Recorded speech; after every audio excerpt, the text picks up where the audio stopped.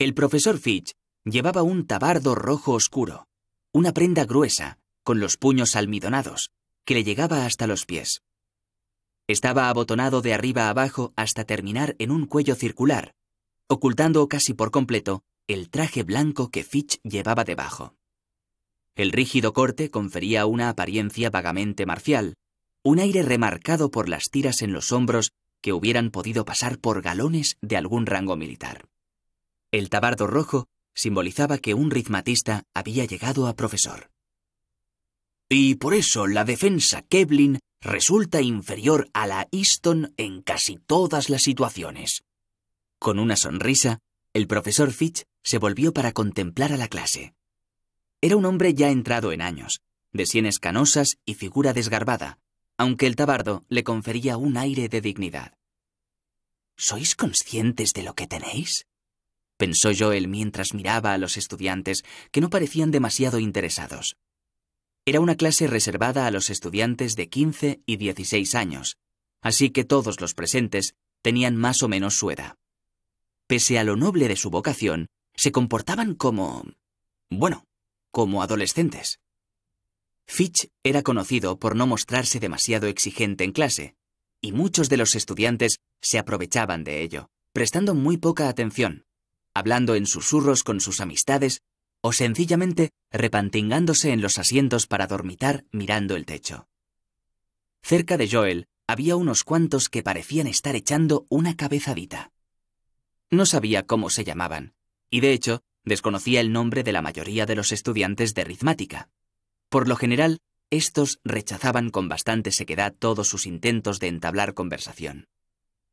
Cuando nadie habló, Fitch se arrodilló y apretó su tiza contra el dibujo que había hecho. Cerró los ojos. Un instante después, el dibujo se desvaneció, conminado a desaparecer por la voluntad de su creador. Bueno, dijo alzando su tiza. Pues si no hay preguntas, quizá podríamos hablar de cómo vencer una defensa Easton. Seguramente habréis reparado en que no he mencionado siquiera las líneas de vigor.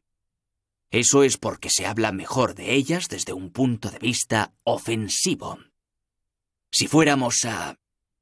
La puerta del aula magna se abrió ruidosamente. Fitch se levantó del suelo, sosteniendo la tiza entre dos dedos y enarcando las cejas mientras se volvía. Una figura muy alta entró en el aula, haciendo que algunos de los estudiantes repantingados se irguieran en sus asientos. El recién llegado llevaba un tabardo gris al estilo de los profesores ritmáticos de bajo rango. Joven, tenía el pelo rubio y el paso firme. El tabardo le caía bien, abotonado hasta la barbilla y suelto a la altura de las piernas. Joel no lo conocía. ¿Sí? preguntó el profesor Fitch. El recién llegado fue hasta el foso, pasó junto al profesor Fitch y se sacó del bolsillo una tiza roja. Después dio media vuelta, se arrodilló y apoyó la punta de la tiza en el suelo.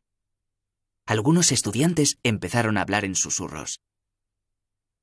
¿Qué es esto? quiso saber Fitch. ¿Me he vuelto a exceder en la duración de la clase? No he oído ningún sonido que indicase la hora. Sentiría muchísimo haber ocupado una parte del tiempo que le estaba asignado a usted. El recién llegado levantó la vista con lo que a Joel le pareció era una expresión ligeramente petulante. No, profesor, replicó. Esto es un reto.